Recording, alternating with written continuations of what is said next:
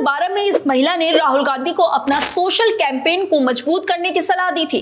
लेकिन राहुल गांधी ने इस पर गौर नहीं किया और यही कारण था कि कई राज्यों से कांग्रेस का सफाया हो रहा था। मगर साल 2021 में राहुल गांधी ने इस महिला से फिर से मुलाकात की और जिसके बाद लोगों के सामने एक नए राहुल गांधी आए, जिसे अब जननायक का नाम दिया जा रहा है। ये महिला कोई और नहीं, बल्कि स्टीफनी कटर है, जिनके बारे में कहा जाता है कि इन्होंने जिसके लिए भी चुनावी रणनीति बनाई है, वो या तो राष्ट्रपति बना है या फिर प्रधानमंत्री। स्टेफनी कटर राहुल गांधी की बेहद करीबी मानी जाती है और राहुल गांधी की राजनीतिक गुरु भी है। कहा जाता है कि राहुल गांधी की सफलता के पीछे इसी महिला का हाथ है। आज जो राहुल गांधी संसद में बेधड़क, बेबाक भाषण देते दिखाई पड़ते हैं, वह स्टेफनी कटर की ही देन है। सिर्फ़ कुछ ही देर की मुलाकात में स्टेफनी कटर ने राहुल गांधी की उस कमज़ोरी को समझ लिया था, जिसे बड़े बड़े रणनीतिकार समझने में देर लगा दिए। जिस राहुल गांधी के भाषण पर मज़ाक और मीम बनते थे, आज उसी राहुल गांधी के भाषण पर सदन में डिबेट होती है। अब राहुल गांधी धार्मिक होने के साथ साथ एक ऐसे नेता के रूप में लोगों के सामने आ रहे हैं, जो कि मैदान में उतरकर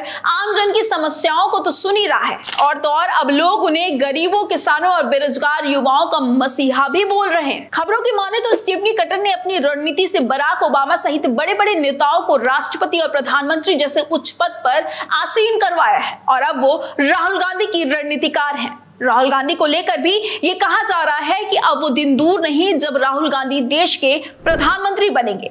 आखिर कैसे मुलाकात हुई राहुल गांधी की स्टेफनी कटर से? और क्या था वो मूल मंत्र जिसे स्टेफनी ने राहुल गांधी को दिया था, जिसके बाद राहुल गांधी ने खुद को खत्म कर कर एक नए राहुल गांधी को लाया था? क्या स्टेफनी की रणनीति राहुल गांधी को सफल राजनेता बना रही है? कैसे तैयार करती हैं स्टेफनी? कटर राहुल गांधी के लिए नई नई रणनीति जानेंगे इस खास रिपोर्ट में। लेकिन उससे पहले नमस्कार दोस्तों, मेरा नाम शिखा है और आज आपको उस महिला के बारे में बताएँगे जिन्होंने राहुल गांधी की इमेज बदलने में महत्वपूर्ण भूमिका निभाई है। तो चलिए देर ना करते हुए वीडियो को शुरू करते हैं। दोस्तों, राहुल गांधी को कब, कहा, क्या करना है, उनकी रणनीतिकार स्टेफनी कटर ही तय करती हैं। यही कारण है कि भारत जोड़ो यात्रा के बाद लोगों के सामने जो नए राहुल गांधी आए और जो उनकी अलग इमेज जनता के सामने बनी, उसकी वजह कहीं ना कहीं स्टेपनी ही मानी जा रही है। दोस्तों, हमारे बड़े बुज़ुर्गों ने एक कहावत कही थी कि एक सफल पुरुष के पीछे एक महिला का हाथ होता है और उसका जीता जागता उदाहरण स्टेपनी कटर है। दरअसल साल 2014 के लोकसभा चुनाव के बाद से ही कांग्रेस का ग्राफ लगातार नीचे गिरता रहा। साल 2015 में बिहार और दिल्ली में विधानसभा चुनाव हुए थे। इस चुनाव में तो दिल्ली में कांग्रेस का पूरी तरीके से सफाया हो गया था। सत्तर विधानसभा सीटों में से एक पर भी कांग्रेस जीत हासिल नहीं कर पाई थी। साल 2016 में भी असम, केरल, पंडुचेरी, तमिलनाडु और पश्चिम बंगाल में चुनाव हुए थे, जिसमें असम और केरल में कांग्रेस की सरकार थी। चुनाव हुए तो कांग्रेस के हाथ से असम और केरल भी निकल गया। साल 2017 में सात राज्यों के चुन विधानसभा चुनाव हुए थे। इसमें भी उत्तर प्रदेश, उत्तराखंड, पंजाब, मणिपुर, गोवा, गुजरात और हिमाचल प्रदेश शामिल थे।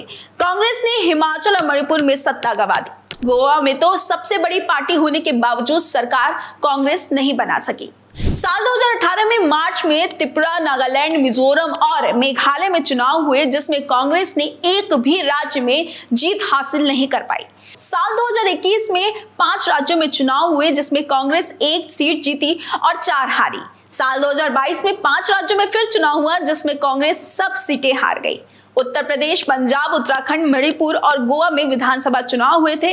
उन्नीस के बाद पहली बार ऐसा था जब कांग्रेस यूपी की सभी सीटों पर उतरी थी, लेकिन मात्र दो सीटों पर ही जीत हासिल कर सकी थी। बाकी सभी राज्यों में भी कांग्रेस की हालत खराब हो गई थी। पंजाब में कांग्रेस अपनी सत्ता नहीं बचा सकी और 18 सीटों पर आकर सिमट गई, जिसके बाद कांग्रेस का अस्तित्व ही मानो खत्म हो रहा था। एक बड़ी पार्टी इस तरीके से खत्म हो रही थी, मानो कि शेयर बाज़ार का ग्राफ गिर रहा हो।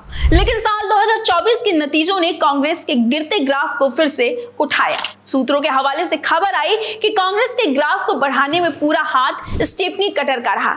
दरअसल, आज से तकरीबन तेरह साल पहले स्टेफनी कटर और राहुल गांधी की मुलाकात हुई। स्टेफनी वर्ष 2012 में अमेरिका के पूर्व राष्ट्रपति बराक ओबामा की डिप्टी कैंपेन मैनेजर थी। उसी साल, यानी 2012 में स्टेफनी भारत यात्रा पर थी। स्टेफनी जब भारत यात्रा पर थी, तब उसी समय उनकी मुलाकात राहुल गांधी से हुई थी। रिपोर्ट्स के मुताबिक, स्टेफनी ने तब राहुल को अपने सोशल मीडिया कैंपेन पर ज़ोर देने की सलाह दी थी। लेकिन उस समय स्टेफनी के इन बातों पर बिल्कुल गौर नहीं किया गया था। इसके बाद साल 2021 में जब राहुल गांधी और स्टेफनी कटर की दोबारा मुलाकात हुई तो स्टेफनी ने राहुल को एक सलाह दी थी।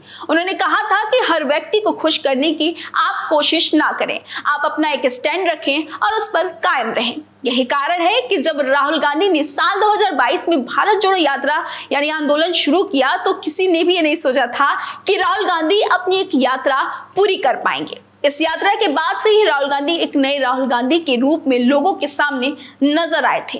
इस यात्रा के बाद लोग अब राहुल गांधी को जानने लगे थे। इस यात्रा के बाद राहुल गांधी अब किसी भी मुद्दे को पकड़ते हैं तो वो उस मुद्दे को तब तक नहीं छोड़ते हैं जब तक उसका समाधान ना निकले। फिर चाहे वो मणिपुर हिंसा हो, किसान मुद्दा हो या फिर अग्निवीर का मुद्दा हो, राहुल गांधी हमेशा से इस पर विरोध करते दिखाई दिए हैं। स्टेफनी कटर राहुल की बेहद करीबियों में से एक है। बता दें कि स्टेफनी अमेरिका की एक प्रतिष्ठित राजनीतिक रणनीतिकार है, जो कि कई प्रमुख अमेरिकी राजनेताओं के लिए काम भी कर चुकी हैं।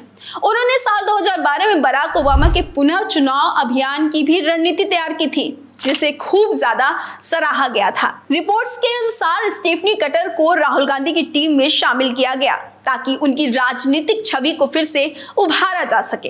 राहुल गांधी को एक नए दृष्टिकोण से प्रस्तुत करने की रणनीति बनाना और उनके संवादों में सुधार लाना कटर की ही ज़िम्मेदारी थी। पिछले कुछ समय से राहुल गांधी की राजनीति में एक नया आत्मविश्वास और स्पष्टता देखने को आपको मिल सकती है। उनके सोशल मीडिया भाषणों और साक्षात्कारों में किए गए बदलाव में स्टेफनी कटर की रणनीति का प्रभाव स्पष्ट रूप से देखा जा सकता है। राहुल गांधी की लोकप्रियता में जो वृद्धि देखने को मिल रही है, उसमें स्टेफनी कटर की रणनीति का अहम योगदान माना जा रहा है। हालाँकि ये कहना जल्दबाजी होगी कि ये परिवर्तन भारतीय राजनीति में कितनी दूर तक जाएगा लेकिन यह स्पष्ट है कि उनके नए दृष्टिकोण ने कई लोगों का ध्यान उनकी तरफ़ आकर्षित किया है। राहुल गांधी की नई राजनीतिक छवि और उसमें सेफनी कटर के योगदान पर आप क्या कहना चाहेंगे? आप मुझे कमेंट कर कर ज़रूर बताइएगा। मेरा नाम शिखा है और आप यूथ नेशन देख रहे हैं। धन्यवाद।